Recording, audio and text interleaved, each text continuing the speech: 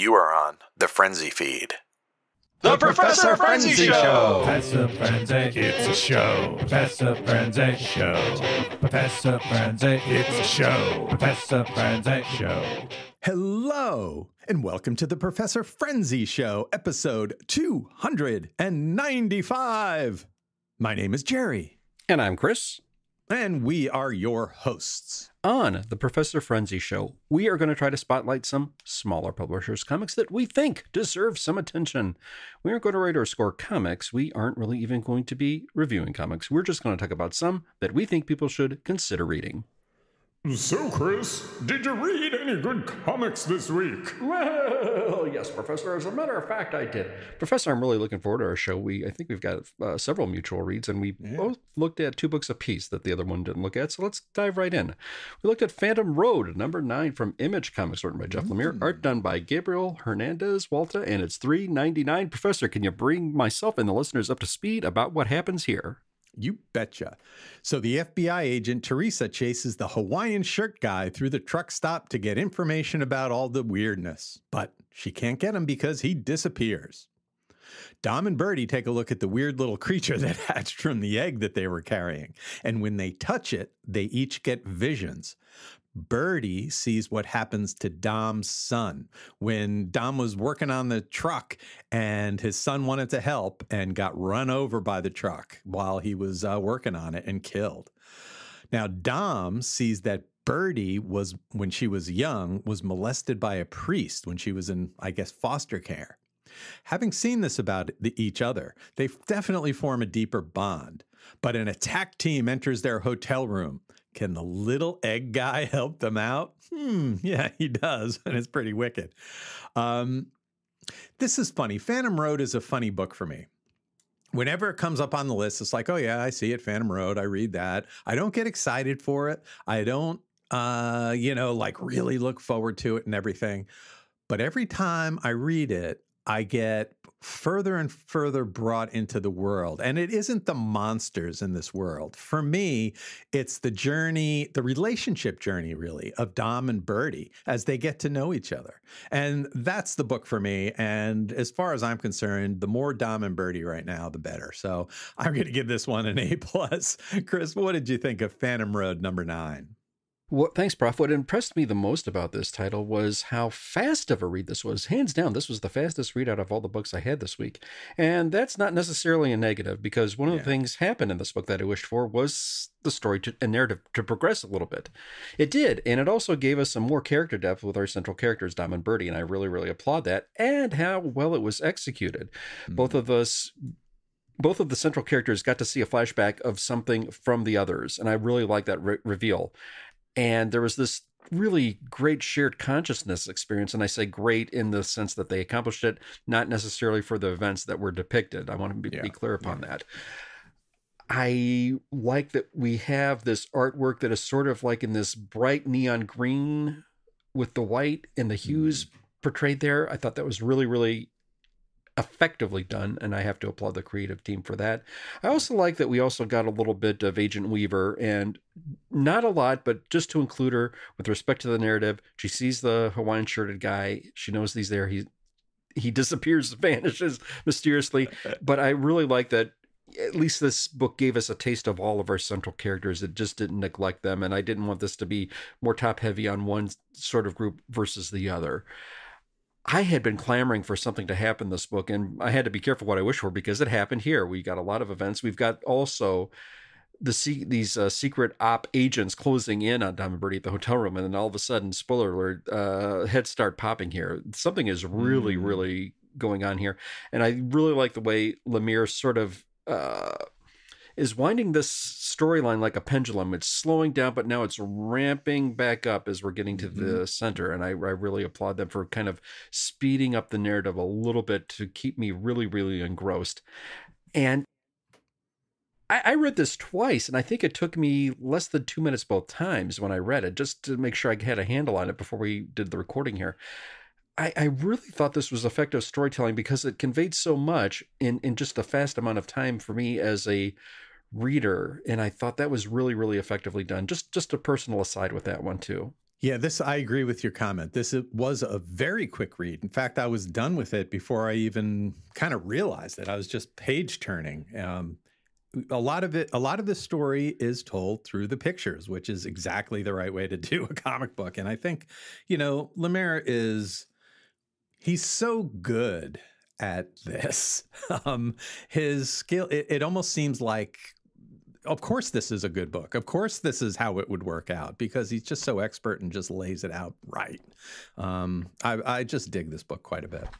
Yeah, one of the last thing I had in my notes, Prof, too, was I really like the little baby entity alien yeah. thingy from its shell and it's it's not necessarily scared it's not necessarily afraid but it's it's you could I, I, like that we don't know what it's saying but yet it gives us the writing gives us a question mark after each sentence so that you could also tell what this is telling us that this character is also asking what's going on in its own way yeah. of communicating too so i thought that was really effectively done from the writing standpoint as well and i just can't wait to see when, where this goes from here me too. I would watch a book of um, Dom and Birdie just doing about anything, going going to Costco. And I concur. Our thoughts and impressions on Phantom Road number nine from Image Comics. It's priced at three ninety nine, and is book for mature eighteen plus. wow. Moving right along, we both looked at Conan the Barbarian, number eight from Titan Comics, written by Jim Zub, art done by Doug Braithwaite. It's priced at three ninety nine. Uh oh, Professor Conan's mm-hmm. been possessed. What happens here? Yeah, Conan's been possessed by, I think they said three spirits, and he's killing people en route to finding an ancient Pictish sword. He follows the trail of the sword, you know, like he he says, "Oh, I know where where it was, so I'm going to talk to that guy." And he says, "Oh, I gave it to this other guy," you know, after he gets tortured. And then Conan goes to the other guy, and they said, "Oh, I gave it to the other guy." So he's going around finding this sword, killing people and torturing them and stuff. And he finally is led to the Museum of Relics, where the sword is guarded. And he's able to fight off some guards and gets his hand on the sword. And he has a vision of a beautiful woman who apparently calls him to do something I certainly did not expect. I know my notes are a little light on this one. I did. I, I love Conan. I like the story. I like where this this um, this arc is going and where this book is going. But I did find this issue to be a little scattered and unfocused. There was some back and forth between possessed Conan and the subconscious Conan, and I found that a little confusing and a little frustrating. There were clues, pretty pretty vivid clues, you know, in colors as to where you were, but still, it was a little a bit of a head scratcher. I love a good Conan book, and this is definitely a good Conan book, but this issue was maybe not my favorite. Chris, what do you think about Conan the Barbarian, Volume 5, Number 8? Yeah, thanks, Professor. I'm kind of with you. Uh, for me, I concur with your points, but I'm coming at it from a different angle because I think from the previous issue, I was led to believe that Thulsa Doom was sort of like the puppet master of Conan, and mm-hmm. he would have somewhat more of a prominent role here. There was no, there's no spoiler per se. If we, we know that going into this issue, but yeah. he he's still an unseen entity, and we don't know really the mechanizations of why he's doing what he's doing. Uh, of all the weapons that Conan must have wielded, why does he need this particular small Pictish sword that, that has some type of fondness? Is it magical? I don't know. Is it something that. Uh, if there's a, some, some sort of symbolism here, it's sort of lost on me. I, I hmm. liked the ride itself because we have this introspection with Conan and and it's the storytelling itself with with Zub giving us all these uh, picturesque words with respect to this was really really well done. I applaud that, but I just don't know what the quest is. It ended on a cliffhanger, and Professor, I applaud you for not necessarily spoil it, spoiling it because I'm sure I probably would have. But this did take a a twistedly dark turn that I didn't see coming. I just wonder where we're going to go from here. Mm-hmm. And where why hasn't Thulsa actually revealed himself? I, I don't know. Perhaps there's some bit of Conan lore with respect to the timeline that I'm not aware of, and if I will concede that. Uh, I thought the artwork was gorgeous, and I thought elements of the storytelling were really won- wonderfully said and written. But like you, I was kind of lost in some places, but I am still digging this title. Excellent. Me too. Our thoughts and impressions on Conan the Barbarian, number eight from Titan Comics. It's three ninety nine, and it is a book for mature readers. And if you thought we were done talking about Conan, have I got some news for you? I have a feeling we both enjoyed the next one we're talk we're going to talk about. It's Savage Sword of Conan. Now this is volume two, number one from Titan Comics, and this is six ninety nine. Professor, We've got the creative team on the main Conan story of uh, Jar and Max Von Fafner. It's six ninety nine, but we have a much, much, much, much, much higher page count than you would think for even a couple of uh, comic books. Professor, I think we've got a lot to talk about on this one. I can't wait. I will let you take the floor first. Yeah, I'm going to kind of stick to the main story here because there's a lot. This is a, you know, this is a, like a seven buck book, but it's a huge value for your money. Um, it more than twice uh, the length of a regular comic and magazine sized. So I am super excited to have Savage Sword of Conan back, uh, having two good Conan books back in my reading list, which hasn't happened since uh, the 70s. So super happy about that. Um, the main story is so Conan is a general in the army of Prince Zahid. Zahid wants to take the city that his brother rules, and it's positioned over a gold mine. So he wants to be the ruler, and everyone else can have the gold. The army can split the gold. Cool. Also in the army is an expert in war engines named named Enea, and she's an expert in like trebuchets and stuff.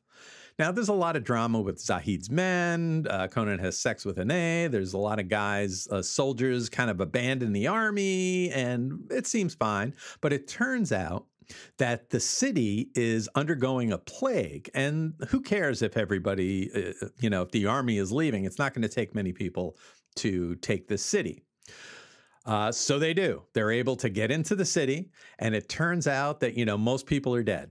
And also, they find out that the gold mine is exhausted. So it turns out that uh, Zahid didn't care about the gold or ruling the city. Zahid just wanted his love, Shirin, back. But she is sick and dying.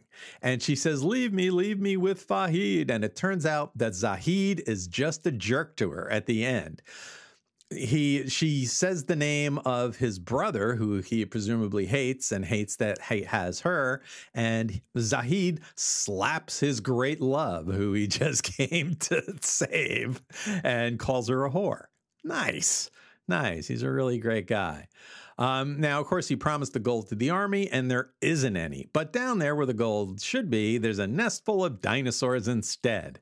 Can Conan and Enea defeat them and escape the city? So I love this book. It's um, black and white. Uh, there's no color in this one, and that's just you know savage swordy, and I love having it back. I thought it was. I thought it really was weird about Zahid's uh, behavior to his love, but I think it just showed that he's an idiot and uh, deserving of everybody hating him and Conan screwing with him. Uh, so that's what I think about this story. Chris, what did you think about Savage Sword of Conan, Volume Two, Number One? Thanks, Prof. Overall, uh, I'll come to the contents in a moment, but it, for let me just applaud Titan for putting this out in the format that it did and just deciding to run with it because I couldn't help but get the nostalgia feels for me just to look at this. Uh, there were a lot of quote comic magazines, I would say, on magazine racks early 70s. I remember the stuff from Warren, you know, with the spirit and the creepy and the eerie. And then uh, Marvel had their own set of magazines. And for me, it was sort of catch as catch can back in the day due to my limited comic budget and Mm. this being for a slightly older audience than I was at the time. So this wasn't for me. And by the time I discovered them, I, it was sort of like I, I missed the boat a little bit, you know, and Mm. getting these titles from back in the day, be it Howard the Duck from Marvel or the Hulk magazine or any of the uh, sci-fi or horror that was put out by Marvel or Warren, uh, was you know, out of my price range or or just something that uh, didn't have access to at my uh, local 7-Eleven or comic shop. You know, it was sort of like I said. You know, sometimes I, I'd acquire this either at a show or a con or seeing it there, and then uh, when I read it, though, I was just mesmerized by what the medium could do for in regards to storytelling and regards to artwork aimed at a slightly older audience than I was at the time.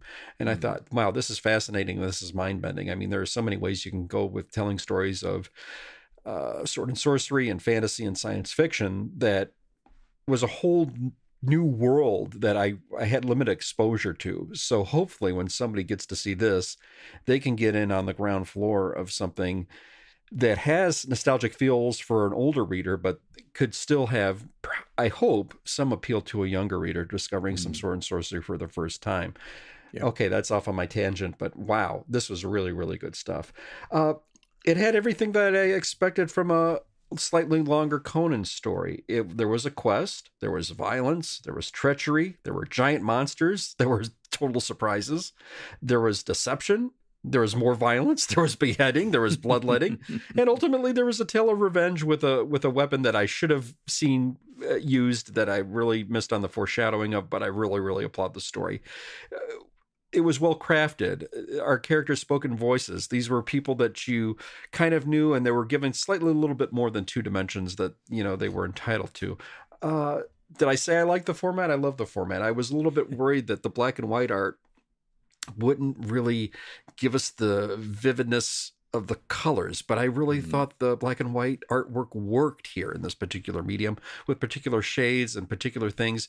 I didn't necessarily have to see the uh, blood splattering and it's, it's uh, in the redness of it. You know, I didn't I didn't necessarily miss it. It was fine with the way it worked, and I really really applaud the creative team for just the format itself because we had some nice pinups here. We got a map of the Hyborian Age. We got some nice text pieces with respect to Conan.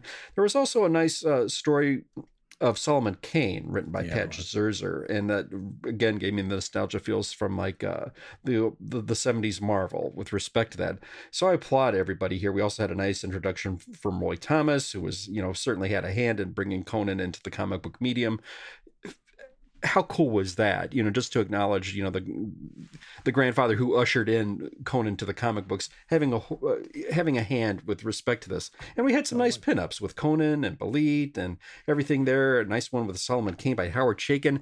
Ah, I, I hope a new reader can appreciate the, some of the the talent and the names behind this because this was really really a trip down memory lane with respect to uh, seeing Conan when and some of these names attached to this medium here in the now and in this decade and in this year. Oh, loved it.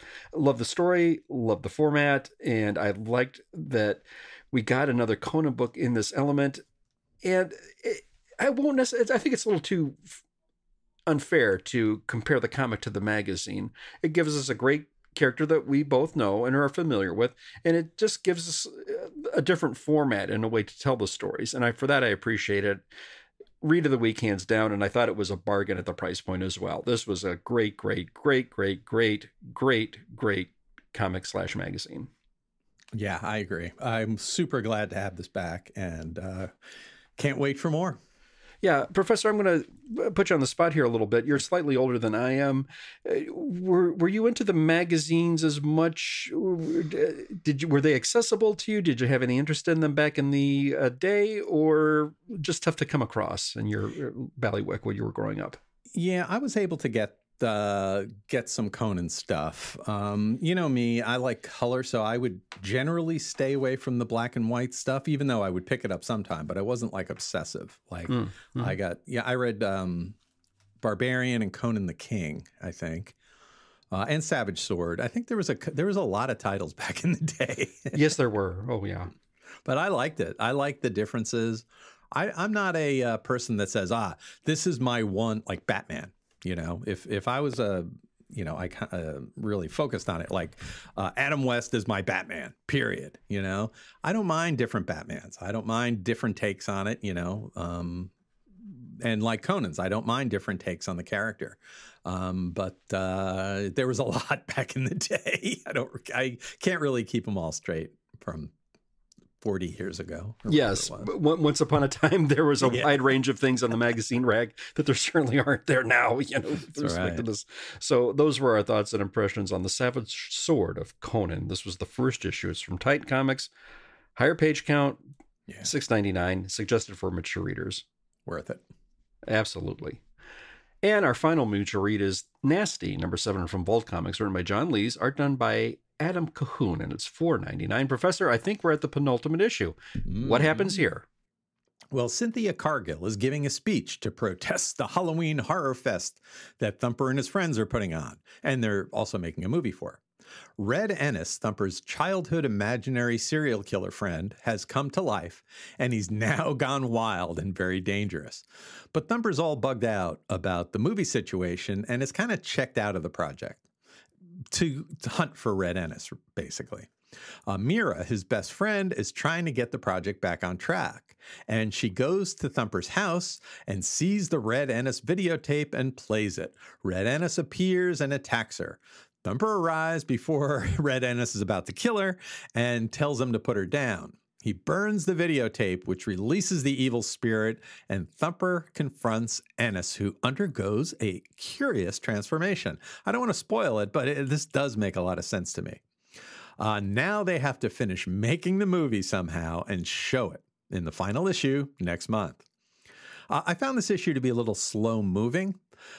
I wasn't sure as I was reading it if I was liking it as I was reading it, but I did like how the issue ended. The interaction between Thumper and Red Ennis and Mira really made sense to me and puts Thumper, I think, in a very strong place uh, for the final issue. I really dug, in the long run, I really dug The Nasty, number seven. What'd you think, Chris? Thanks, Prof. A lot of times when I talk about books, I describe by saying, did it have enough meat on the bone? And mm. one thing I certainly can't accuse Nasty of is not having enough meat on the bone. In fact, if anything, it might have too much meat on the bone because I think a lot of times it's a little more wordy than it needs to be. It gives us a little more mm. character development than I uh, don't necessarily care about. It embellishes quite a bit. Mm-hmm. Almost to a fault. Uh, I, I, think I got the beats of all the characters down, but at this point, now that we're in the home stretch of the title, I'm just wondering how much I care and feel invested with it. Mm. I. I think I know who our characters are, and I think with respect to the voices that were given with Cynthia, I, I think I've had enough of Cynthia at this point. Yeah. One of the things that I didn't see, and Professor, I applaud you for just how you brilliantly once again describe the contents of the book without spoiling it is just the, what happens to Red Ennis here. And looking out upon it and reflecting on it, I, I asked myself as a reader, do, do I need to see any more of the nasty? And I don't mean that in a negative sense. I think it told me a great story in as much as it needed to tell. Yeah. And if it did, if it didn't here, I would have been perfectly content with that mm-hmm. because mm-hmm. I don't, I don't necessarily think this has to go any further. Yeah. Um, that said, I, I just don't know what's going to happen the second issue beyond making the movie, and perhaps there'll be a surprise in store that I don't know about. One other question I asked myself internally: Would this have possibly been better if it had given us a, like a giant size conclusion? Because mm. it wrapped up so many elements that I thought happened here. What more did this need to tell? If this is going to be uh, the next issue is going to be like an overtold epilogue, if you will, I almost think. Mm, it, it could have possibly worked that way, but I just don't know what's what the contents are going to be in this next one, and I don't know what any surprises are going to be had. That said, I hope there are surprises. I hope I am wrong with respect to it having just a little bit more and having something that I don't expect happening in the next issue because I I was fine with this almost ending here, you know, mm-hmm. with, with, with with what we saw happen to Red Ennis and leaving it at that. Uh, I I thought the characters have a feeling for horror movies that only a certain people can get and capture and for that I applaud it. If you like mm-hmm. horror movies, I think you can appreciate the characters here and their love of this genre. This has sort of been a love lever to a, a medium and stuff that goes back to a time where trying to find those old obscure horror movies were only in the VHS format and trying to track those down. And it, it, it brought some more nostalgia feels to me because when you sort of grow and find that there's a medium and a genre you fall in love with, it's like, hey, I got to see this next Hammer film. Now I got to watch all these Hammer films. Well, how do I track them down? You know, and it's, mm. it's it's the hunt, it's the chase to to get their own thing and and just the love of this genre and to make their own thing as well mm-hmm. is really really beautiful and it should be applauded here i like the nasty and it, it's given me a lot and I, I just i just don't know where if it needs to end or how it will end at this point but here we are those are my thoughts and impressions I think that's a great point. Never occurred to me that this could be the end because re- really,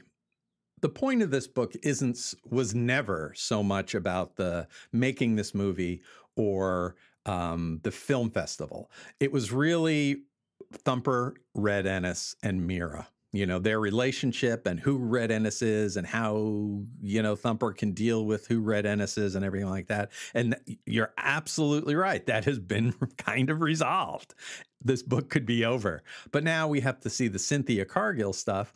And I just kind of feel like this is going to be an eight issue book. This could have been a five issue book. Um, I, I just don't think there's that much plot that we've covered in eight issues um, compared to another like eight issue book. So um, this could have been shorter. I like Thumper. I like the setup. I like the characters, particularly Thumper, Mira, and then Red Ennis. But uh, otherwise, you know, I, I think there's um, it's a little long. It's a little long, and that's what I'm thinking. Yep, I'm with you. Uh, shout out to Adam Cahoon with the artwork. Some really nice panel layout as well that you don't find in the conventional sense here. And for that, I like the creativity that you brought to that.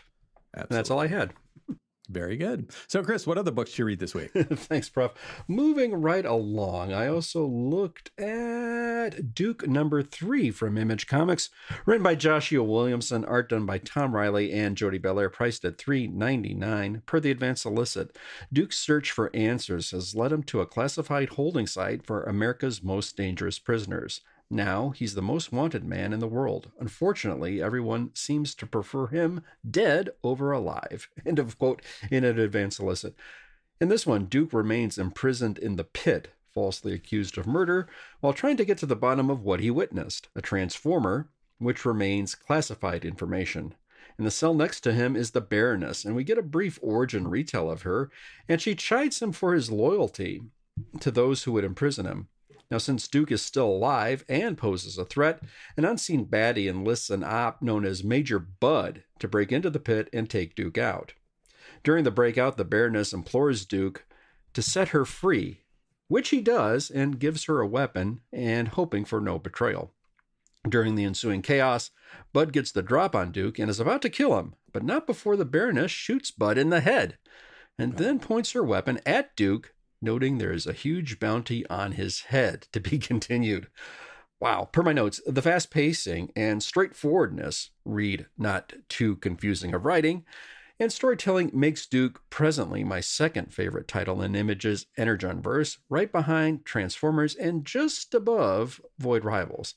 As previously stated, G.I. Joe and Transformers were cartoon properties that were aimed at a audience younger than me when they first appeared, but I am certainly enjoying most of these titles, with this one in particular having a conspiracy bent. Those were my thoughts and impressions on Duke number three from Image Comics, priced at $3.99 and as a book rated for a teen audience. Great.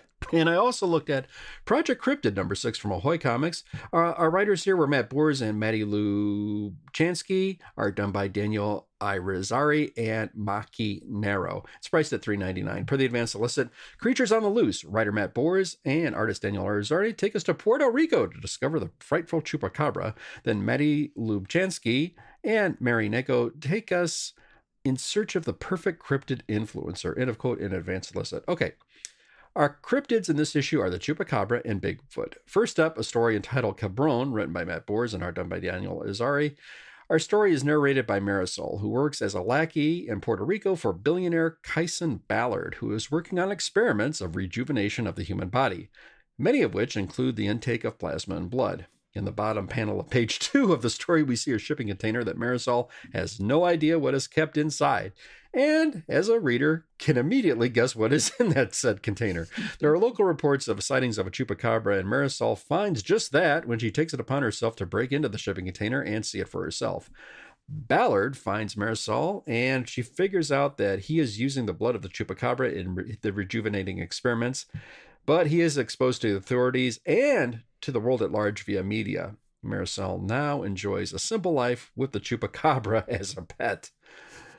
oh, wow. Okay. And in the next story, Big Shoes to Fill, written by Mattie Lubchansky and art done by Maki Naro, a social influencer named Kevlin goes to the backwoods and he tries to pick up his game with other influencers who are trying to get Bigfoot as part of their live media stream among heavy competition. Okay, Kevlin succeeds, albeit briefly, when a bigger and wealthier guy who runs a media empire captures Kelvin's Bigfoot. Oh, oh, oh. Okay. We also had some text pieces in here. We had uh, Serendipity Day by Carol Lay, drawn by Karen Lay, and we had the Egg Masses of On Autumn Redo, written by Robert Jeschonek and art done by Shannon Wheeler. Uh, per my notes, I think by issue six of this particular title, I've come to realize the challenge of this title is to make these fictional stories that involve cryptids as interesting as the actual purported accounts of the cryptids themselves. That can be a tall order for a creator, and there have been varying results, in my opinion, with this title, with the cryptids having various roles and plot points to the stories themselves. I do like that this title gives us two comic book stories, but the caveat is where there is more opportunities to succeed, there can also be more opportunities to fail. I think this book somewhere lands somewhere in the middle for this particular issue. Those are my thoughts and impressions on Project Cryptid number six from Ahoy Comics, priced at $3.99, and it is a book rated for mature readers. Professor, mm-hmm. what other books did you look at this week? All right. First up, I read Ice Cream Man, number 38 from Image, written by W. Maxwell Prince, with art by Martin Morazzo and Chris O'Halloran. That's $3.99. Welcome to Garyland. Now, Garyland looks very much like a walled in prison, except all the residents or prisoners are named Gary with a number at the end, like Gary 38 and Gary 59, and they all look exactly alike. But they aren't clones. Oh, no, no, no. The doctors and whatnot tell them, no, you're not clones. Uh, you're individuals. Gary 59 was working over by the wall. His job was to do wall reinforcement, and he saw the world outside through a hole in the wall. Now, the Garys were always told that outside was chaos and dangerous, but Gary 59 didn't see chaos, just beauty. He tells the other Garys, uh, and Gary 38 doesn't believe him. But they get rid of Gary 59 quickly. And Gary 38 thinks, huh, there may be something up about that. Now, Gary 38's job is to rake leaves. Every morning, the yard is full of leaves. There's no trees around, but it's full of leaves. And then he rakes them and puts them away, and then boom. So Gary 38 can't forget what Gary 59 was talking about, about the outside, and he plans an escape. Go, Gary, go. This was a cool book and a really cool issue. I like this one. I really like the quick creation of this Garyland scenario. Prince is really good at creating a complete weird world with messed up rules uh, really quickly in just a couple of pages. And it's so rich with internal logic, it feels kind of real. Now, Ice Cream Man is a collection of mostly one shot stories. So he does this like this is the 38th time he's created a weird world. Um, this is a book that lives on the hair edge. So a lot of times it doesn't work. Most of the time it does, and sometimes it's excellent. And I think this one was was really excellent. So that was Ice Cream Man number 38. And finally, I read Vampiress Carmilla Magazine 2025 Annual from Warrant Publishing Company, various writers and artists, and this is 10.99. It's oversized even for a Vampiress Carmilla and magazine format. So, this is a uh, magazine sized black and white horror book in the style of eerie and creepy. And I've talked about all these stories before because this is a reprint and would be an excellent choice. If you've heard me talk about Vampiress Carmilla, thought, ah, maybe I'd like to read that and uh, get some of the best stories. Well, this annual has some of the best stories from the past four issues. You'll meet vampires, witchy sisters, cobra queens, silly scientists, and a dangerous butterface. It's all fun stuff. I've talked about this before, all these stories before. Definitely worth a read. So that's Vampiress Carmilla Magazine 2025 Annual. So just a couple other we didn't get to. World Tree 30, uh, World Tree number eight from Image, written by James Tynion IV, and art by Fernando Blanco, and that's three ninety nine. And Rare Flavors number four from Boom Studios. I still need to do a catch up on this. Written by Ram V with art by Filipe Andrade, and that's four ninety nine. And today is Wednesday even DC Wednesday, right? It's coming up. What books are you looking for this week, Chris? Thanks, Professor. We have Crave number four from Image Comics, written and drawn by Maria Llovet. It's three ninety nine. Love Everlasting number thirteen from Image Comics is out today, written by Tom King, art done by Elsa Charretier. It's three ninety nine. We also have The Last Mermaid number one from Image Comics, written and drawn by Derek Kirk Kim. It's three ninety nine. Professor, there Hmm. also are another handful of books out today, aren't there? A small handful. Night People number one from Oni Press, written by Barry Gifford and Chris Condon, with art by Brian Level. That's four ninety nine. Void Rivals number seven from Image Comics, written by Robert Kirkman, with art by Lorenzo De Felici and Matheus Lopes, and that's three ninety nine. And Betty and Veronica Friends Forever Sleepover number one from Archie Comics, written and art by the great Dan Parent. What do you think about this week's books, Chris? Thanks, Professor. It's a light week. I'm going to be looking for Love Everlasting, and I just wonder what's going to happen there. Void Rivals, I it's been so long since the previous issue, so hopefully it'll bring me up to speed. I think it starts a new story arc, so I'm intrigued with that one. Some of the f- new first issues, I will hope to look at to get some scans of some of the advanced stuff out there, just to maybe get a preview if this is something I want to jump on board with. And we have an Archie one shot, which only is credited to Dan Parent, which I love as an Archie uh, writer and drawer. But if the whole book is going to be by Dan Parent, this is going to be unusual because I'm wondering if this is going to contain uh, any reprint material. Is it going to be all original? But it's maybe it's all maybe it's half and half of original and reprint with Dan Parent. I don't know. So I'm, I am intrigued with that. Professor, what are your thoughts and impressions? Well, obviously, Love Everlasting is the big one for me. Um, definitely, we had a kind of a change. We've been having a change in this book recently, and uh, I can't wait to see where it continues. Crave, I'll definitely get, and I'll like it, and uh, but I don't necessarily. I, I wouldn't say I read Crave. I kind of absorb Crave. it's just a vibe. And uh, based on that's might be all I get. I'll probably pick up Betty and Veronica because of Dan Parent. Um, see, I'll see how that looks, but uh, I'll check that out. But I think uh, next week's comic section is going to be a pretty light show. And now that's what's coming out today. But now let's go back to the past for a great classic comic book. It's time for Chris's Comics Corner. Chris's Comics Corner. So, Chris, what classic comic book are you going to look at today? With apologies to Macrocks, I'm going to bypass looking at an issue of Amazing Spider Man just for now. I'll get back to it in a moment. But I also want to look at some issues of Marvel Team Up as well at some point. But for now, with Easter season on the way, in a book that had a lot of symbolism with respect to Jesus Christ that I thought was really unusual as a kid when I first looked at it, I'm going to look at Green Lantern number 89, cover dated April 1972, the story entitled And Through Him Save a World, written by Denny O'Neil and art done by Neal Adams. Our story opens with Oliver Queen being amused by an item that he reads in a paper where there's a little bit of vandalism going on in the city of Abraham, where Carol Ferris Aircraft has an office. It seems that someone went into the office, posed as a painter, and decided to paint the office lobby.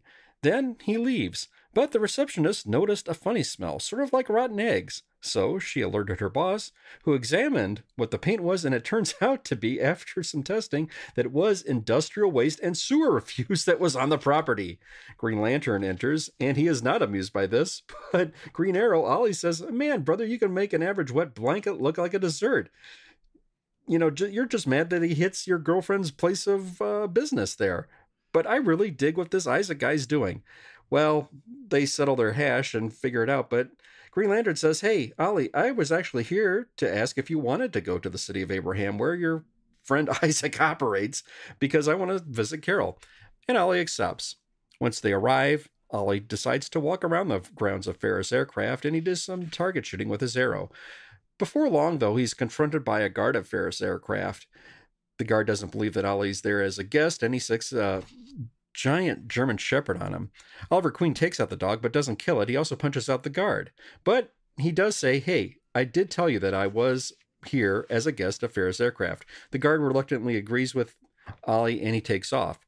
Soon after, Ollie senses a stranger nearby, and it turns out that it is Isaac himself. Meanwhile, back at Ferris Aircraft, Carol is giving Green Lantern a tour of the plant when all of a sudden some loose machinery and a drainage rig is starting to collapse. Green Lantern quickly uses his power ring to quash the threat. And he wonders that they've never had an accident like that before, and Green Lantern deduces it wasn't an accident. There are trenches dug around the rig, and they wonder if it could possibly be a deliberate action and if it was actually caused by Isaac. Meanwhile, Green Lantern and Isaac start to bond. Green Isaac patches up a wound that Green Lantern had along with the confrontation of the cop. And he finds out that that Isaac is not too healthy. He's got a very very severe lung issue which was aggravated and as exacerbated by some of the industrial pollution that he's a part of. So he decides that he is striking back at these corporations and through this he's going to make a point and Ollie digs what Isaac is standing for, so they found a bond ship and they decide, you know what, Isaac, if that's your cause, I am going to join you with that. And so they decide they're going to be a team. Well, Green Lantern flies in and he says, Hey, uh, Isaac, were you the guy who deliberately did this thing with the uh, rig back there? Isaac says, Well, you know, I might have done that, but I didn't mean any harm, but I did harm the machines. I, I don't want to harm any living creatures. Well, Green Lantern says, Did it ever occur to you that some of the living creatures might suffer as a result of what you did? And Isaac says, Well, I didn't think about that. Green Arrow counters and says, Hey, you, you're missing what Isaac is standing for, but Green Lantern says, Well, that may well be, but he did commit a crime and he will have to go and answer for it. So, with that, he uses his power ring to create a set of handcuffs, which he cuffs around Isaac. Uh, Ollie does not take that too well, so he shoots a sleeping gas arrow at a tree and it emits a gas that knocks out Green Lantern. And since he has no willpower while he's conscious, Isaac's handcuffs evaporate. But then Isaac turns on Green Arrow because he's disgusted that he actually used a gas, a toxic, a pollutant in his own way. He's just a, hypocrite. So, with that, Isaac runs off, and Green Arrow is disgusted by himself. Once again, Green Arrow is confronted by some guards, and after a confrontation, the three guards manage to knock out Green Arrow. Just at that point, Green Lantern revives, and he is knocked unconscious as well. With that, though, they go back to Ferris Aircraft Fair quarters and they find out that Isaac has tied himself to a wing of a plane and he's propped up by a giant bar, a scene of Jesus on a crucifix, if you will. So the guards are wondering, why are you doing this? And he says, Does it matter? I'm protesting here of what you're doing. You've got these pollution. You're killing people. It's so toxic what you're doing. I have to do this and continue until you're aware, until you stop doing this more and more people gather there, and one of the local bosses appears, and he's named by Mr. Tyrone. And he says, Hey, uh, Tyrone, what are you going to do about this? And at that point, Green Arrow and Green Lantern revive only to be knocked unconscious again, and they're propped up along the wings of the plane. With this and a move similar to Pontius Pilate, Tyrone says, You can do anything you want. Let them protest. Let them stay up there for all I care. I'm washing my hands on the whole matter. Wow. Green Arrow revives and he shouts out to Isaac, who's tied to the plane, Hey, Isaac, how long can you hold out? He says, I don't know, but my lungs are collapsing. I'm weakening. I'm going to die at any moment here. Green Arrow shouts for Green Lantern to use his ring. He says it's no good. Some of the guards are taken away. Well, Green Arrow decides he has to do something. With his wrist chained, he presses against them for minutes, then for hours, until blood evaporates from his wrist, and then he escapes. However, it's too late. Isaac looks up to the heavens, then he collapses his head, and just then a death flies over, and Isaac is dead.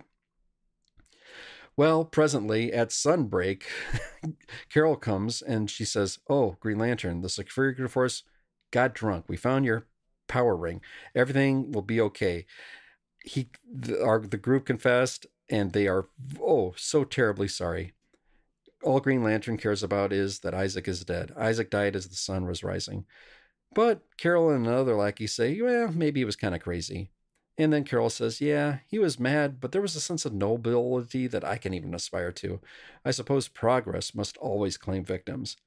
With that, in a moment that brings down the house to me as a little kid, Green Lantern scowls. And with one turn, he takes his power ring and demolishes an airplane. And then the coworker says, Hey, what's the idea? That was a $9 million aircraft. And disgustedly, Green Lantern says, Send me a bill. Wow. As a hmm. kid reading this story, I cannot convey how much emotional weight and impact this had to me as a kid.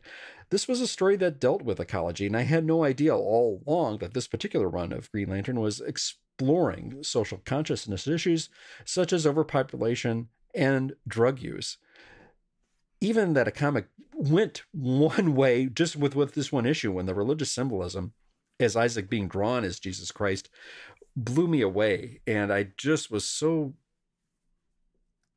dumbfounded as a kid. I, I just couldn't put into words that this medium had such storytelling where you didn't have costume villains running around like the Joker, but you had even corporations themselves being the quote unquote bad guy here, and Green Lantern's girlfriend even being a part of it with respect to that. Wow. It, this, I cannot understate how much emotional weight and resonance has this to me, not just with the writing, but with Adam's artwork as well. The symbolism with respect to Jesus on a crucifix, as with Isaac on a crucifix, was just too, too spot on. There were a little bits in here that just carried so much weight with the facial expressions, the violence. Just to see Green Lantern taking that power beam and wiping out a $9 million plane in one panel, just as Green Arrow looks on calmly. It was like a movie moment that brought down the house, just as akin to like back in the 80s, where there would be an explosion in the background and people would walk away from them without turning their back and overhead. It was a marvelous, marvelous issue. For what it's worth, this issue also contained a Golden Age reprint story called The Impossible Mr. Paradox, way back from Green Lantern number 38. An interesting story about a radio show that gets canceled because it's just not interesting enough and they can't find a sponsor. Now, does the person who created the radio show take revenge or is it someone else? This was a story that left you guessing and it was a really clever one. A little bit more trivia this would be the last and final issue of Green Lantern, but only for a few years. It would be revived a little bit later, but not with Neal Adams as the artist, but with a newcomer by the name of Mike Grell. In the interim, the hmm. feature of Green Lantern eh, would go over as a backup in Flash Comics for several issues. And one note before I move on a correction that I had. Now, in the last podcast, I not once but twice that Ramona Fradon worked on the DC title Superheroes. But what I should have said was Super Friends. Super Friends. I presume most people knew what I meant, but still, I sincerely regret the error. And that was Chris's Comics Corner. Chris's Comics Corner. Now, last week, Svengoolie showed The Invisible Man's Revenge. I think it's only the second time that he showed it uh, since um, 2011. Uh, what'd you think about the movie, Chris? Thanks, Prof. I'd like to give a shout out to the people on social media that commented. There were some nice people on Sven Svengoolie with some great, great comments. I like that some of the people also put a poster reproduction of this movie out there. Oh, and I thought, yeah. you know what? Don't necessarily fall asleep on some of these movie posters from the horror movies back in the day. I thought they were really, really good. And I thought this was a great poster. Now, let me get to the movie. Wow, uh, Invisible Man movies. Uh, are most of these Invisible Man movies stories about revenge? Solely, it seems so. I don't know. Uh, I think the cast really, really did a good job elevating the script for what it was. And I think this was worth a watch. I'd give it a letter grade of a C, maybe a marginal C plus if I was generous. Mm. Uh, Professor, I, think we talked a little bit before the recording. You didn't get to see too much of this one, right? No, I didn't. Uh, we had a little house issue, a little furnace heating problem um, during the movie, and uh, I was a little distracted. But um, I kind of liked what I saw of it. I found uh, I was dropping in about every 10 or 15 minutes, sometimes missing a lot of the movie, and had no idea what was going on. So, um, looks like a classic old movie, you know, and I love them. So I can't really comment on how much I liked it. I think I've seen it before. So, um, so I didn't, I, I couldn't remember it last week, but I think, uh, I think I know this movie. I agree with your maybe C. I would give it a C from what I saw and from what I recall.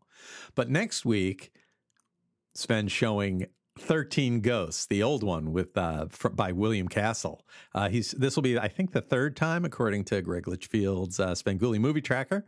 I showed it in uh, 2018 and 2019, so this I think will be the third time, and I think I've only seen it these two times. It was on Svengoolie. Do you like that movie, Chris? 13 Ghosts. I, am a sucker pretty much for all William Castle stuff. I think the yeah. guy's a showman, and I like what he puts together. Now they don't necessarily all hit a home run. They're not all the best movies ever made, but I think they, they are made with heart and a lot of love for filmmaking. So for that, I applaud it, and I'll be totally down for it. Professor, how about you? Yeah, I agree. I think William Castle is. It sounds funny and it sounds like I'm talking down to him, but he makes absolutely competent horror movies. And that is unusual for a lot of horror movies. You know, they make sense, they have characters, they have relationships, and there's a plot. And people generally behave like you'd expect them in a situation like that, at least in a horror movie. Um, I particularly like 13 Ghosts. Um, I, I, like the family. I think the family dynamic is really cool. I like the dad who is kind of a bumbling, you know, not good with money and, you know, always in debt, and the mom and the kids, you know, the son and the daughter. I think it's just a really good family relationship. And it's not scary, but it's cool. The, the horror stuff is cool. So I can't wait for 13 Ghosts. One of my favorites. But now later in March, and I wanted to thank Macrocks for pointing this one out. Later in March, Svengoolie is showing Dracula 74, also known as Dan Curtis's Dracula or Jack Palance as Dracula, which I've seen a couple of times, including in 1974, but uh, also um, more recently.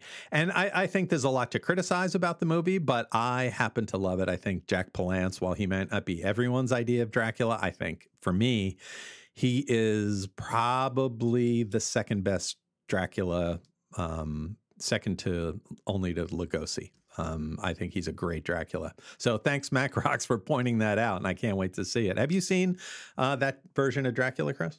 Boy, Prof, I know I think I've seen scenes of it, enough the entire movie itself, but I'm also more familiar when I posted like listings from the old TV guide from the Detroit News, where I know I've reproduced the, the panel or the listing where the film was shown on television numerous yeah. times. So I'll have to double check my feed on that.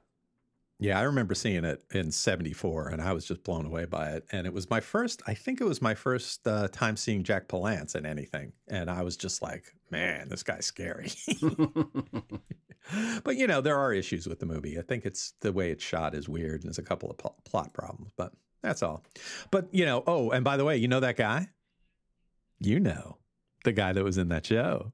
He's that guy. You know, he's that guy in the show.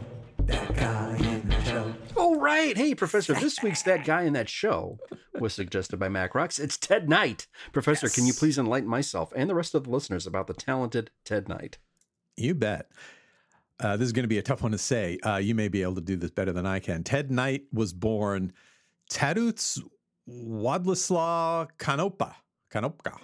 Perfect. That sounds good to me. Yeah. All right. Well done. Well done. Thanks. On December 7th, 1923 in Terryville, Connecticut. Now, Terryville is in Litchfield County, Connecticut, and his parents were Polish American. He left high school to enter the Army for World War II and earned five battle stars in Europe, which I had no idea about. He started acting in Hartford. I lived in Connecticut for a long time, so I know all about these places. He started acting in Hartford, and he was a puppeteer and ventriloquist. He got on a children's show in Providence and worked there for five years till 55. And then he went to Hartford where he hosted the early show that showed movies and had kids' content. He was kind of the host, I guess. He also did radio, but dropped it all to go to Hollywood. Glad he did. He was in he was only in a couple of movies and a lot of times he wasn't even credited. Two two movies uh, I think would be interesting. He was in Psycho, 1960. He played at the end. He played the cop guarding Ma Bates's room, which is really, you know, uh, Anthony Perkins wrapped up in a blanket at the end of the movie, and he's the cop guarding the door. And in the movie MASH, he has some offstage, off-screen dialogue. So that that's you know he was in a couple of movies, but his he was a mainly a TV guy. He was in a ton of TV stuff. He was in The Young Marrieds, How to Marry a Millionaire, Highway Patrol, Lassie, The Donna Reed Show, Peter Gunn, Death Valley Days, Sea Hunt, The Asphalt Jungle, Dr. Kildare, The Untouchables, The Virginian, McHale's Navy. I, don't remember him on McHale's Navy. I'd like to catch that. Gunsmoke, Bonanza, Gomer Pyle, Combat, the Fugitive, The FBI. He was in Get Smart. I don't remember him on Get Smart, and I would love to see it. Uh, he was in The Invaders. I, you probably remember that. The Wild Wild West. he was in something called The Mary Tyler Moore, Moore Show. He played Ted Baxter, and I think we're going to come back to that, my guess is. He was in The Love Boat and Too Close for Comfort. He was in a lot of anthology TV. He was in the GE uh, General Electric Theater, Alfred Hitchcock Presents, One Step Beyond, which is don't don't uh, forget about One Step Beyond. It was a great kind of Twilight Zone show. He was in the Twilight Zone, the uh, episode the, the Lonely. He was in the Outer Limits episode, The Invisible Enemy, and he was in the Kraft Suspense Theater.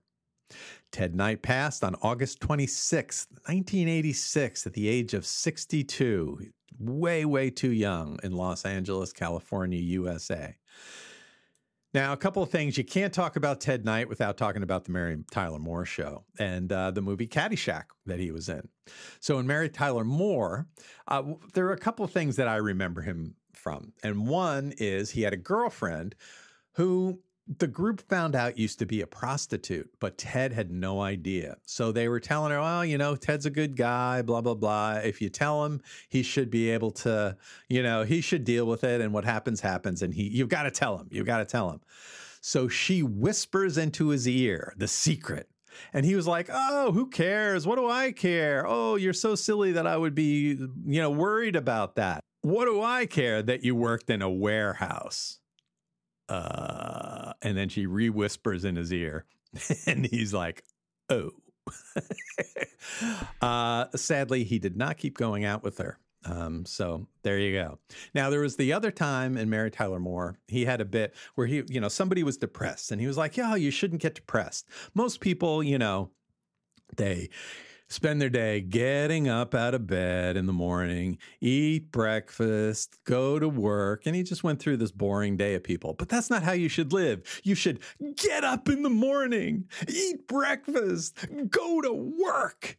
And when Mary points out, he's right. It isn't what you do, it's how you do it. And Ted says, What do you mean? That's not what I meant. and that is just Ted Knight all over. Uh, and of course, you cannot forget the beloved. I don't know if beloved is the right word, but in Caddyshack, he played Judge Smales. And he was the perfect foil for all the other comedic actors Chevy Chase, um, Brian, uh, Brian Doyle Murray, all those other guys. They played off of uh, Ted Knight. And in a way, Ted Knight played the straight guy, and he was the funniest straight guy ever. Um, I really feel like uh, I would have loved to see a lot more by Ted Knight. He passed way, way too young, and he was really one of the very great actors, personalities, comedians of all time in television history. Chris, what are some of your memories about Ted Knight? Thanks, Professor when I first came at Ted Knight. It was like when he was the narrator of the Super Friends cartoon of all ah, things. Yeah.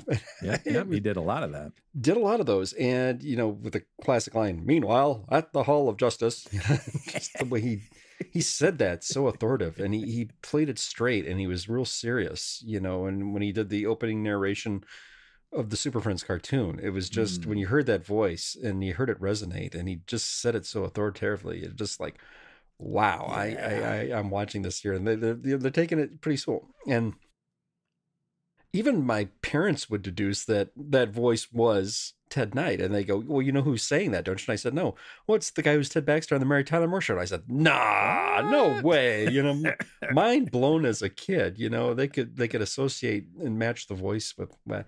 And for me, it took me it took me a little while to put to make that connection because I couldn't think that was said by that guy from that show, you know, the Mary Tyler Moore mm. show. I couldn't, I couldn't picture it. But then, as I got a little older, I said, "Yeah, yeah, that's him. That's Andrew. Yeah, that, yeah, absolutely him." Meanwhile, at the Hall of Justice, you know that, yeah, just the way he did it.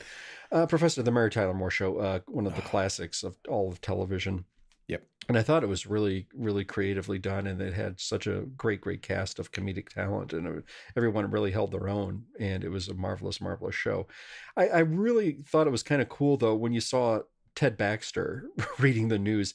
He did it in such delivery, and he he would you he would just read something, but not being conscious of what he said, and just with the respect to how and how he did that. And he would always read copy standing up, which I thought, why didn't they put this guy behind a desk when they said what they had to say? But it was really, really cool. And as the Mary Tyler Moore show progressed and all the characters went through nuances and changes and they grew and they developed, how fitting of an end is this for a TV mm. series? They figure out that, you know what, our new show isn't working. So we're going to fire everybody, but we're going to keep the least competent guy who is Ted, and we're going to fire everybody else. I thought that was just could could could it not win in any any other way with respect to that. Uh, we also talked about a show called uh, Too Close for Comfort, which originally was on ABC.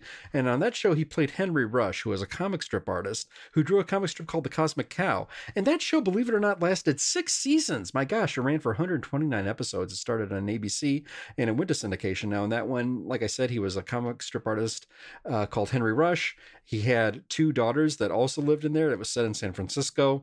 And they also, he was a foil to uh, Jim J. Bullock's character called Monroe. Monroe, you know, and Yeah, he's really, Monroe, I really that, just the way he would always say that.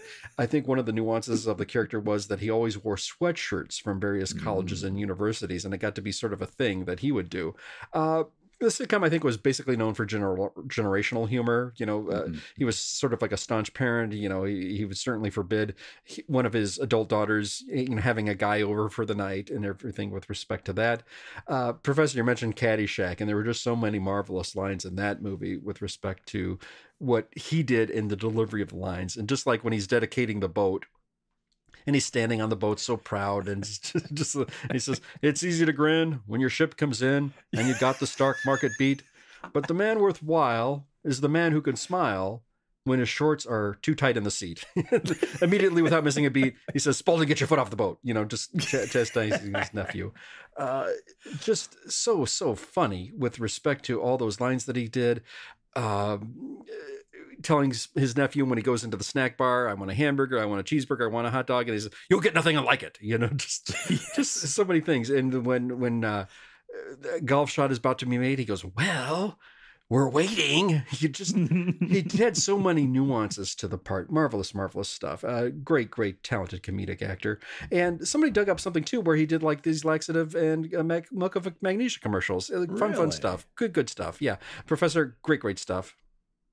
Yeah, I agree. Ted Baxter. I mean, what a great character. Um, so funny and a great choice for that guy in that show. So this week's that guy in that show is Ted Knight. He's that guy, you know. He's that guy in the show. That guy in the show. And now it's time to check out our frenzy faves.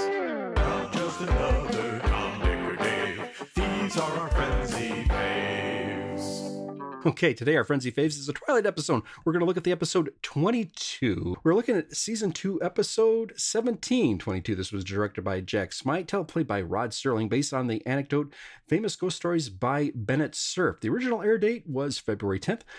1961, our cast was Barbara Nichols as Liz Powell, Jonathan Harris as the Doctor, Fred Wayne mm-hmm. as Barney Kamener.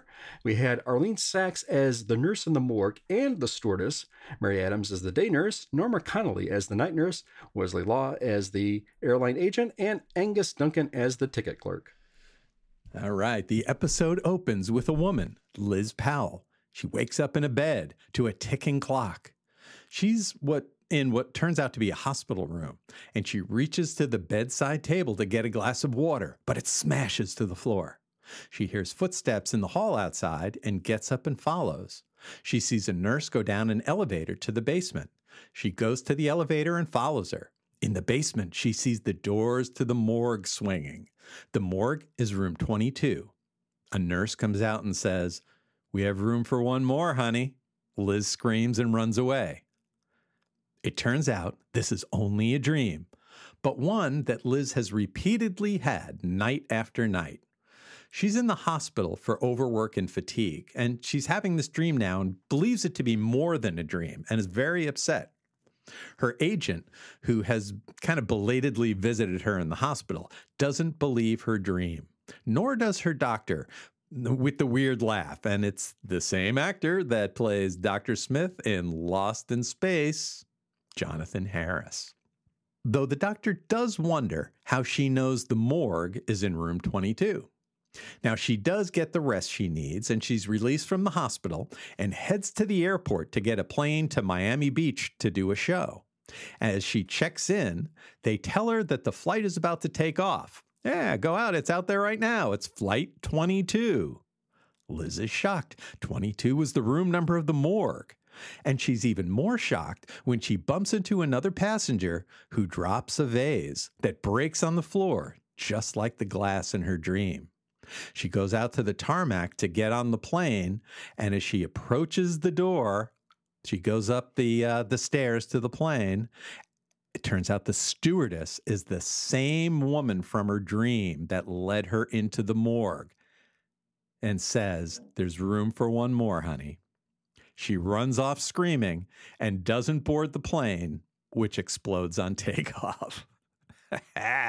Great Twilight Zone episode here.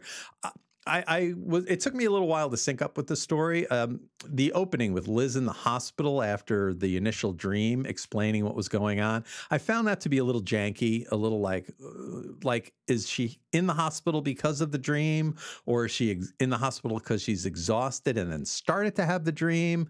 And if she had the dream before she was in the hospital, you know, if you're having a dream that upsets you that's set in a hospital, why would you go to a hospital? So I, I had a couple, I had a minute or two of a little confusion as I kind of caught up to this. Um, you know, a, a, few questions that weren't really resolved, but were resolved later in the story.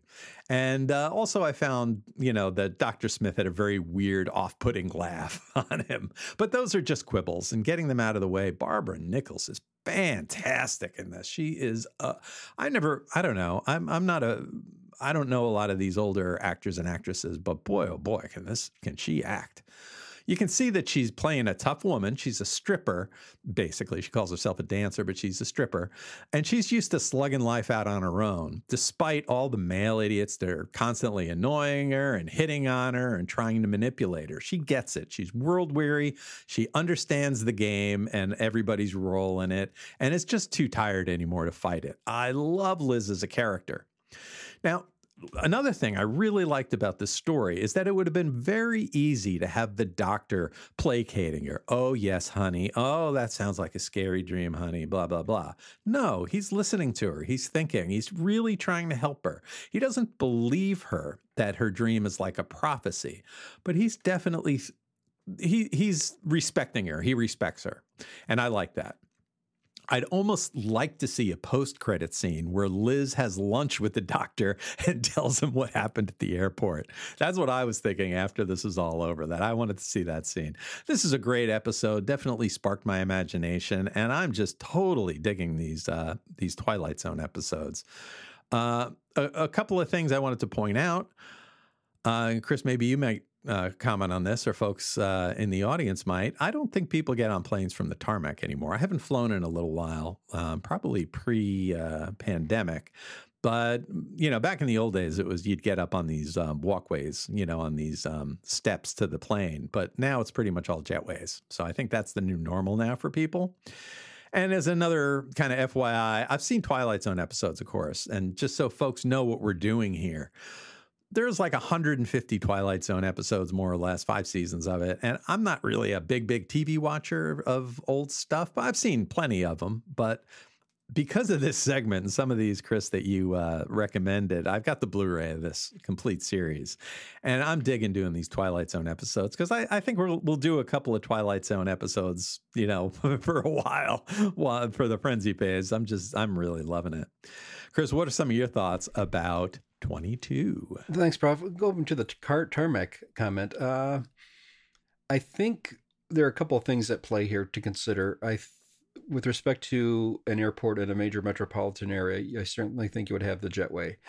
Mm. If you were in a smaller rural town, may be less likely to have a tarmac and i'm talking about mm. uh, s- uh, smaller cities and smaller states you know where they do have a quote unquote airport which mm-hmm. basically would take you to a larger city where you would fly more commercially to, mm. to make a mm. connecting flight. Uh, you know, say if I was in a small town in Wisconsin, I would take a plane to maybe to the Twin Cities, which could could, could then get me to LA or Atlanta or where, what have you. Yeah. So I think there's that. Plus, I also think there's the element of if there was a jetway, I don't know necessarily would the scene have been more effective. So maybe mm. she was in a larger city, and it might just be from the sense that uh, just from a, a way to tell this story, we will shoot it this way as opposed to a jet way. So perhaps, yeah. you know, but I digress.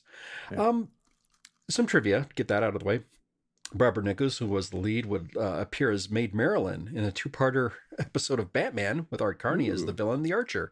Uh, Ar- she was credited as Arlene Sachs, but AKA she's also known as Arlene Martel. She was the woman who said "Room for one more, honey." Uh, she is also known to Star Trek fans from the episode Amok Time, where she played Mm. T'Pring, who was, for a moment, betrothed to Spock. she also acted with Leonard Nimoy previously in an episode of The Rebel, and these two would later work again together in an episode of Mission Impossible. So that's pretty cool. Arlene Martel would also appear in a few episodes of The Monkees, and she also played Tiger, a French spy operative, on a few episodes of Hogan's Heroes. I thought Jonathan Harris, as you mentioned, as the Doctor, was really great in this. He's best known as, yeah, as you said, Professor Dr. Smith in Lost in Space. He also appeared in another Twilight episode uh, called The Silence, and I think that's a great episode that mm. we'll probably look at uh, again at some point. I think Harris is marvelous because he's caring, he's swarmy, and he's a bit mm-hmm. creepy all at the same mm-hmm. time. And I think that's mm-hmm. really, really tough to pull off. And I really like the way he's effective here. And just the way he says deadpanly, room for one more, honey, when he recounts the dream, just as pitch perfect when he says Yeah. this. Um, I think there are also little bits too that are really, really well done.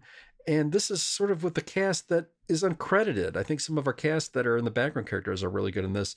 The woman who gets her vase broken at the airport lobby, she just kind of looks at her, looks at the vase, kind of just shrugs it off. And I, mean, who would do that? You'd think she'd put more of a fuss, saying, "Hey, you broke the vase, let's do this," but just just kind of dumbfoundedly stands there and just has this one moment where she has to shrug and move away. And I think she just does her little two seconds really effectively. Um, when the plane crashes and bursts into an explosion, you you you also see next to Nichols, an airplane employee. It's a guy, and he mouths the words "Oh my God" when the, when the plane Mm. explodes, and just the way he looks at it and the way he says it was really really done. Uh, a few other notes: this episode was done on videotape, and it wasn't filmed like the majority of the Twilight episodes were. I think this was for budget saving production cost to save on production cost. Hmm. Uh, some of these were videotaped. Uh, Still, that said, uh, I thought it was really, really effectively done. It still didn't necessarily translate to you lose anything with respect to the story or with the way it was filmed. It was really, really Mm. effectively done. The nuances of the show itself, I think there you can watch this particular episode 22, which I think some people in fandom who are fans of the series mistakenly title "Room for One More, Honey." Hmm. and they don't necessarily equate that. uh, Oh, do, do you mean the episode 22? 22? What do you mean? Oh, the room for the morgue. Oh, now I get it. So I think some people mistakenly, some fans of our, the series kind of mistakenly do Hmm. that. That's another thing I had in my notes.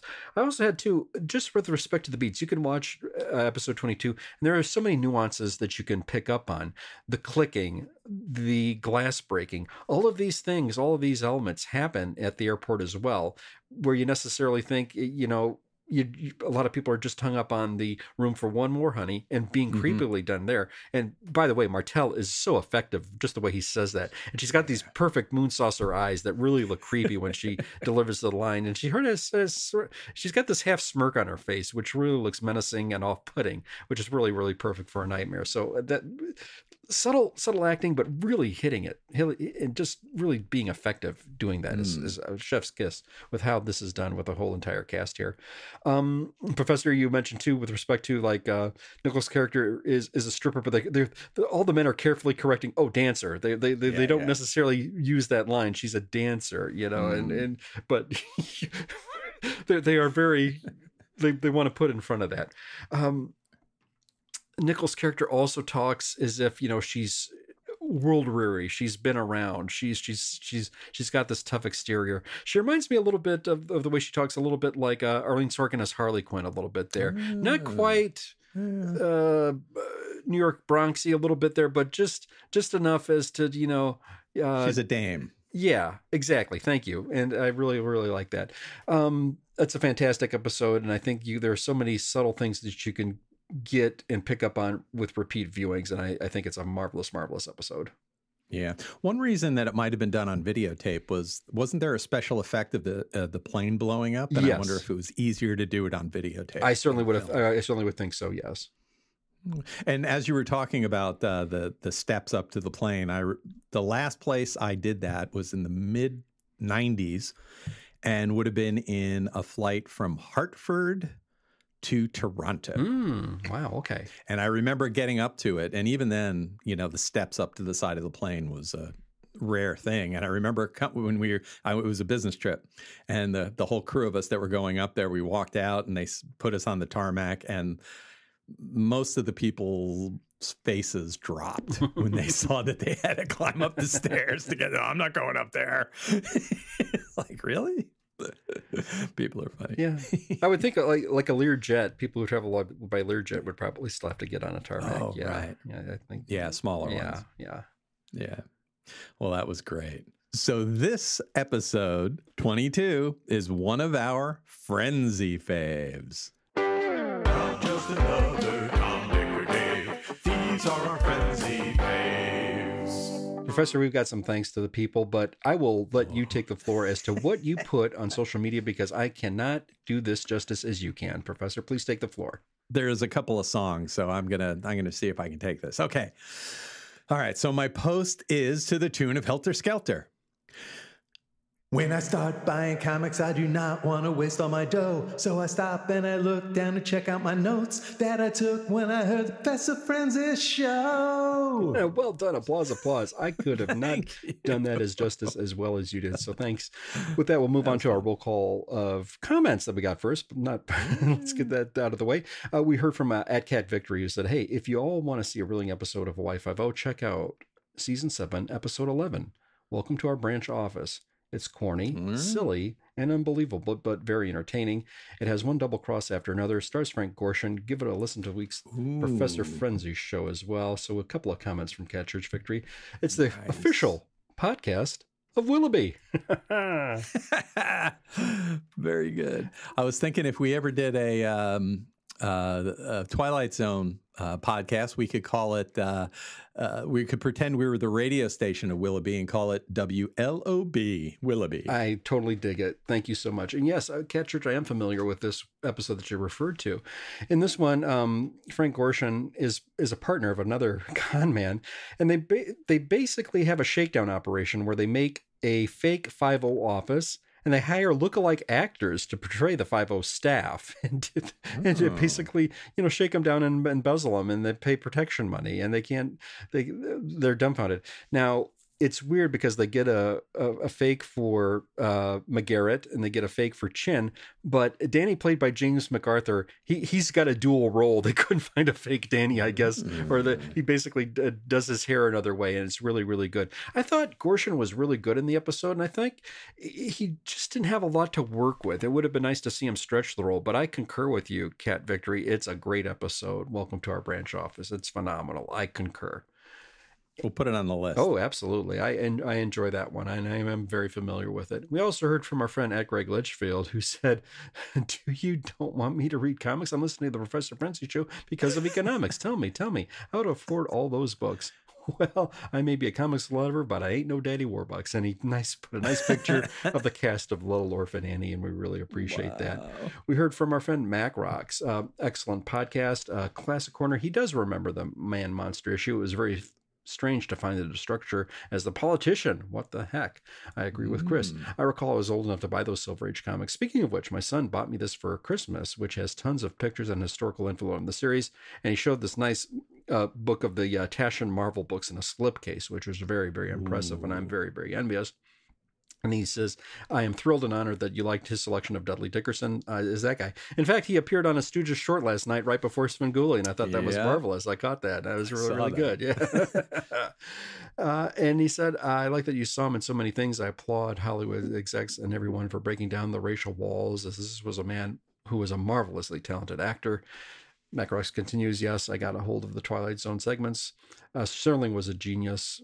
Uh, with thriller and gore without the thriller and without gore which would even Yeah. uh, not even fly you know on tv back then um we discussed the episode and the escape to more idyllic times go and study and read some of those early morning world while the world was sleeping he also put a picture of these amazing spider-man reprints that were instances from the sunday paper that was many Oh. many years ago i remember those were uh, in my local area as well and i got to pick those up uh, he thought the man-made monster movie gets a c for the letter grade. Could have been so much better. Too much lag. Yeah. And he says that he never saw Invisible Man's Revenge either. And on my tell for the rest of the month seems accurate. Prof, we got uh, Dracula with the Dan Curtis one. So thank you so much. And he put a nice gif of same bad time, same bad channel. We also had a great little conversation where we looked at a pic from uh, the Batman Green Hornet episode crossover that was really, really good. So thank you for bringing that to the attention and from Daryl Epp, and he forwarded that to us. So thank you very, very much, Macrocks. Okay. Uh, Professor, uh, Robin's got a comment. Uh, can you take a stab at Robin's comment since you're in great vocal voice range today? Yeah, I don't know exactly how to do it, so I'm going to make it up, but this is to the tune of Ticket to Ride. Poor Gart's got a witchy wife. He longs for a quiet, better life. The train's speeding up, and he's gonna jump. Elysium, Nirvana, heaven awaits, and Gart finally finds heaven gate. How's that? Nicely done. well done. Thank you so much, Robin. We appreciate that. We heard from uh, Ed Sidith Phillip. Uh, there's going to be a lot on this post. yes, we agree. Yeah, there is. Uh, then we have uh, Randy. Um, now he's got a he's got one to a tune of "Beautiful Day" by Michael Bublé. Professor, handing the baton off to you. All right, let's give it a try. I don't know why I gotta have my comics today. I don't wanna change the mood. Baby, it's fine. We're just good friends to be sure.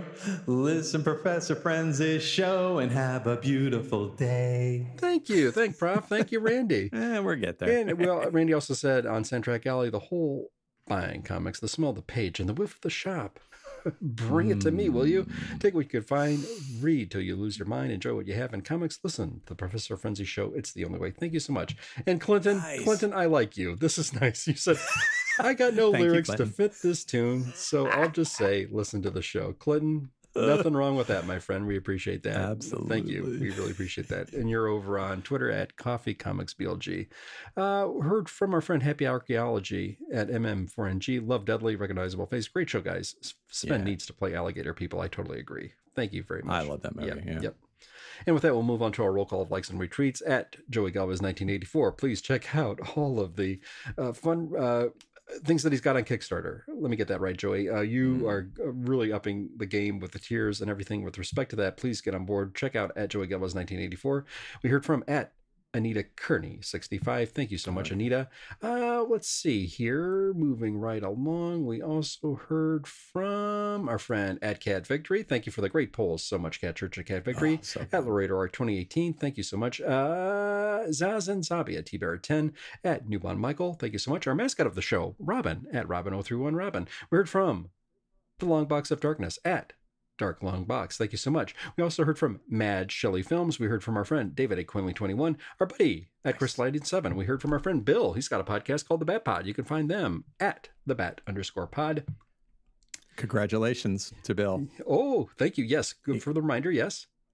Yep, we got married. Oh, best wishes to you, Bill. Thank you so much. We heard from our friend at the Telltale Mind. We heard from our friend Two Sleeps at Two Sleeps Music. Now, we're mm. recording this right before his concert. So, just to get the plugs out of the way, I want to tell you, listeners, he brought down the house when he did an awesome rendition of Harvest Moon by Neil Young, which was requested by Robin.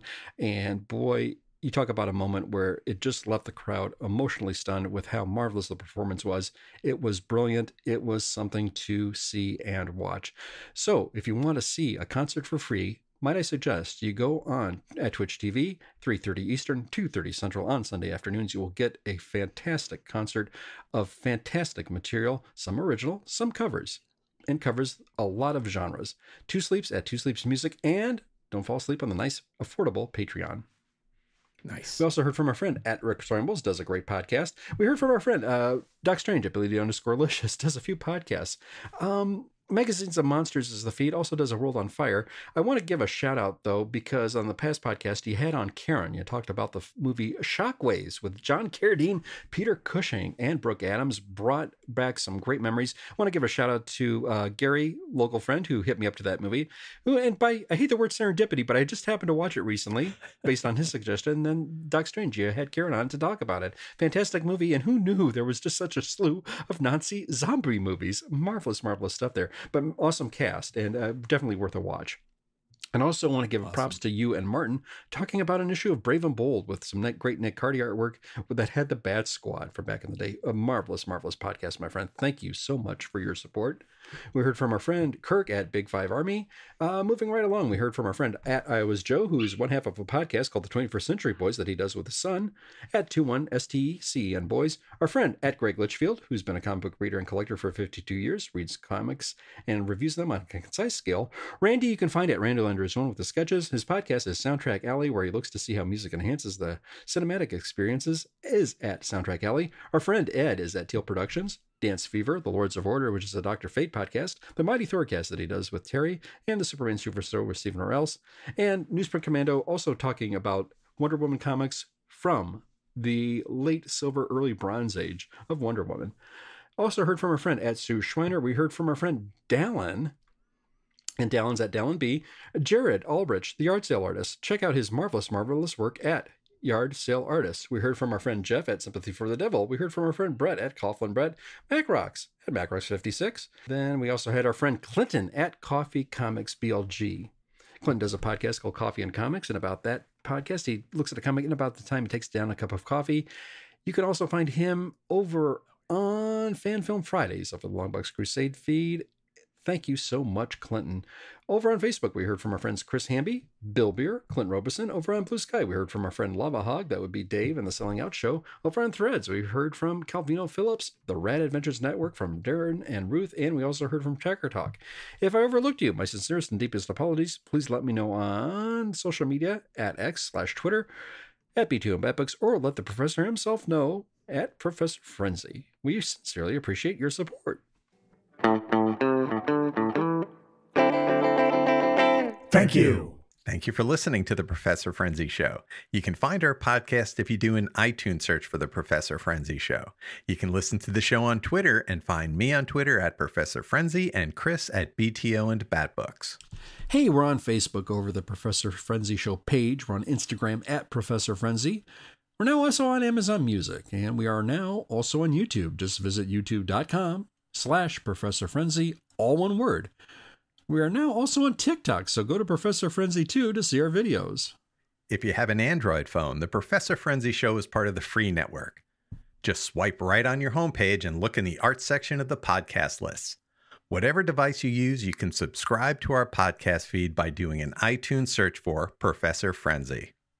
Thank you for listening to the Professor Frenzy Show. Let us know on Twitter what you think about our show, and please help us get the word out to people that might like these kinds of comics. Thanks to everyone for listening. We look forward to chatting more about comics next week. And please remember pick up your pull.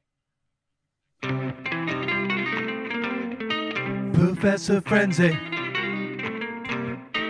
Professor Frenzy.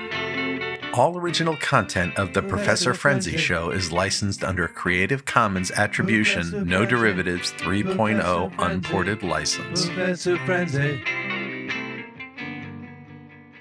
You are on the Frenzy Feed.